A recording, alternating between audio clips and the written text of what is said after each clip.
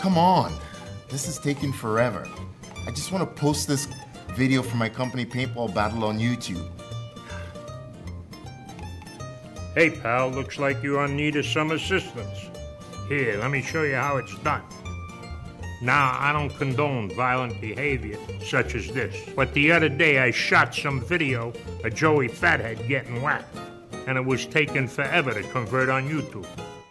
So I just opened up the file in Badaboom, like this, set it to the YouTube preset, press the start button, and hey, Badaboom, it's done.